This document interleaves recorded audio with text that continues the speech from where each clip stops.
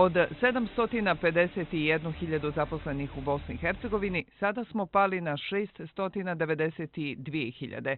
Za šesta godina 59.000 ugašenih radnih mjesta. Sve države idu naprijed, idemo mi nazad. To znači da ove naše vlasti, koja je sposobna, koja nam nešto obećava, nešto pričaju, razumiješ ovo ono kao da su neko i nešto, razumiješ, a sve je crnije i gori. U moje doba bilo je to nezamislivo.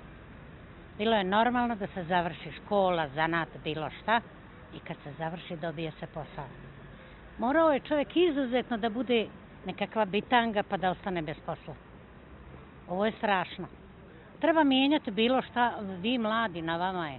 Rušite vlast, dižite revoluciju, radite što znate da se promijeni. Sindikalne vođe smatraju da ove brojke i tekako ukazuju na negativne uticaje krize, ali glavno krivce vide u lošoj privatizaciji. Kao što naš narod kaže da je to bila pljačkaška privatizacija, upravo tako možemo i reći. I sad isti ljudi mešetare od početka do današnjih dana. Država mora da reguliše tržište i da bude prvi ulagač i da povede naprijed, tvrdi ekonomista Aleksa Milojević.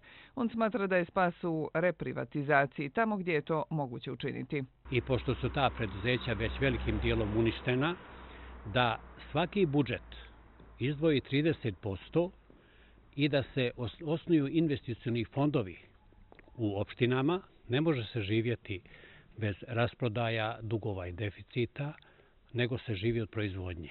A vlada ne zna kako da pokrene proizvodnju.